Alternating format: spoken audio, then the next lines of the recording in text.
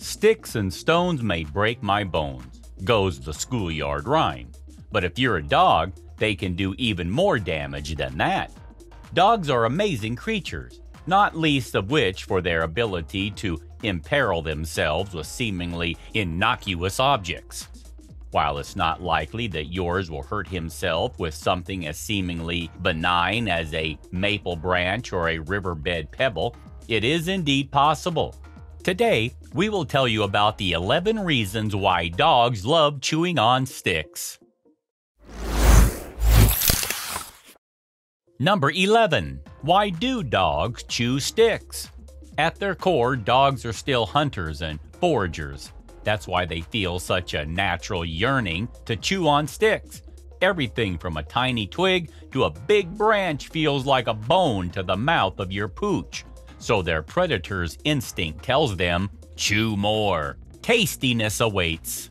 Once you've factored in a loving owner who's ready to throw the dog stick of choice, it seems like a perfect marriage. However, the simple stick can pose a series of health issues.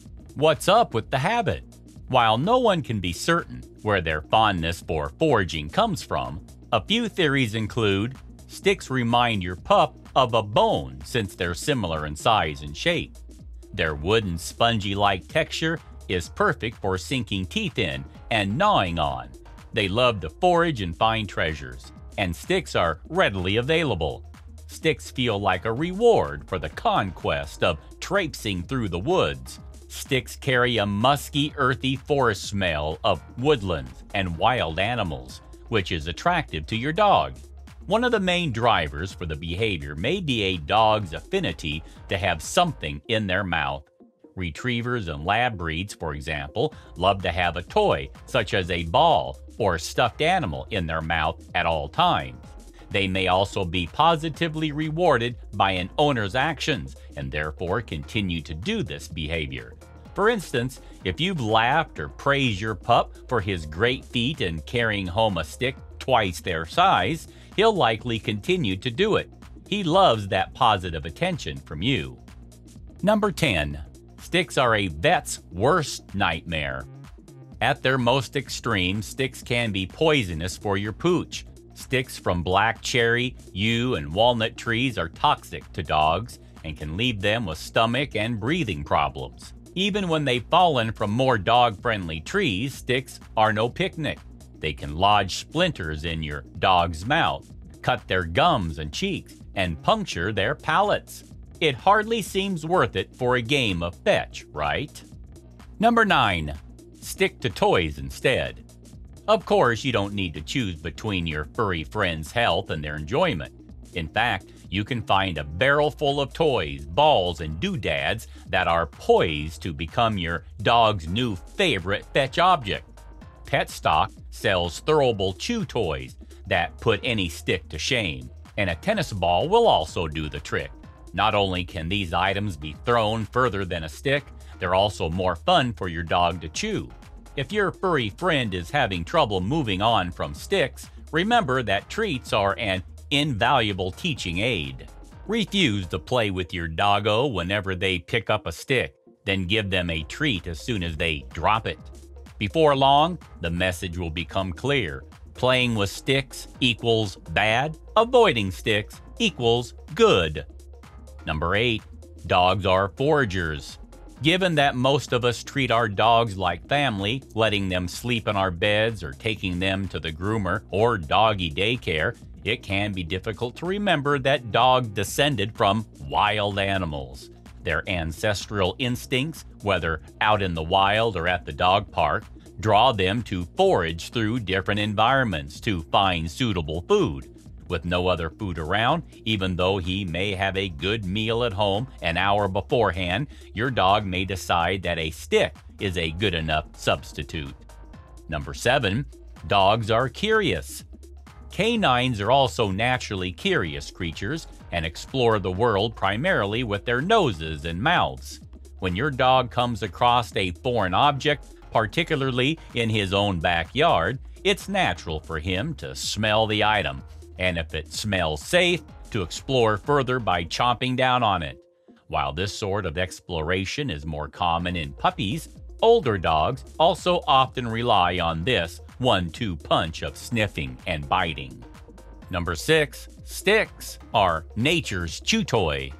It can be hard for dogs to differentiate between gnawing on a stick they found or on a bone or chew toy you've given him.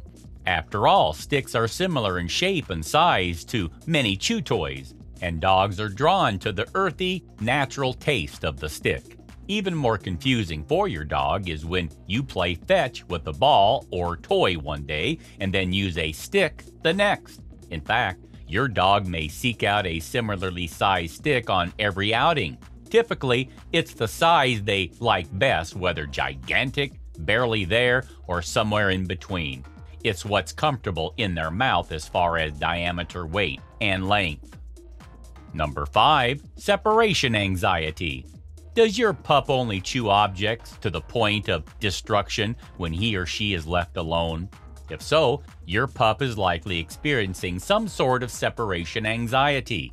This anxiety is manifesting itself in the form of chewing on anything and everything that is available as a way to relieve the stress of being alone. To resolve this issue, start by leaving your pup alone for short periods of time in a crate with their favorite toy or treat. This will help him associate you being gone with a happy place filled with his most prized possessions. Number 4. Hunger. Pups that are on calorie restricted diets might chew on objects in an effort to try to alleviate their hunger.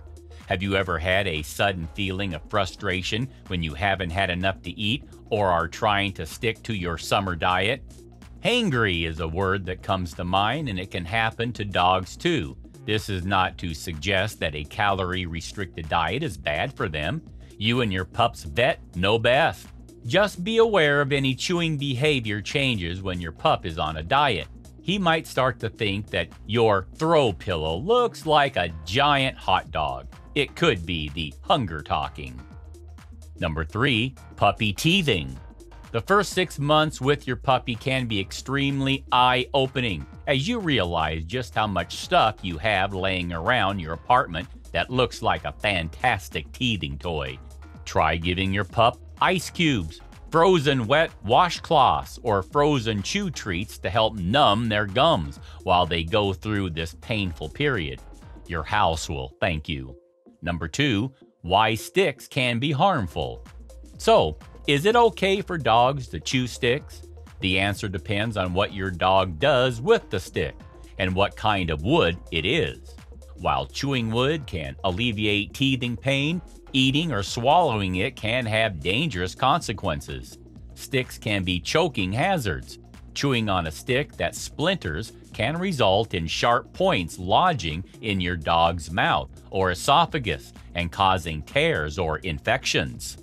Sticks that are too small or swallowed completely can get lodged in the throat and result in obstruction or infection of the respiratory tract.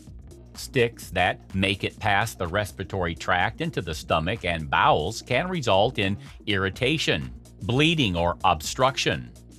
Number 1. Train him to leave sticks alone. As with any other behavior issue, stopping your dog from chewing and eating sticks involves patience, vigilance, and positive reinforcement. Dog proof your yard. Remove sticks and cut foliage from the yard. This is especially crucial if you have tree species that might make your dog sick. Replace sticks with a toy. When you see your dog about to chomp down on a stick, use his or her favorite toy as a distraction. Come prepared with proper fetch toys. When taking your dog out for a walk or some exercise, bring along a fetch appropriate toy so you aren't tempted to pick up a stick to throw. Chewing is natural behavior for dogs, and the occasional stick probably wouldn't do him any harm, but it's best to curb stick chewing if you can and replace sticks with appropriate toys or raw bones. Do let us know in the comment if your dog also loves chewing sticks. Please subscribe to the Amazing Dogs. Thanks for watching.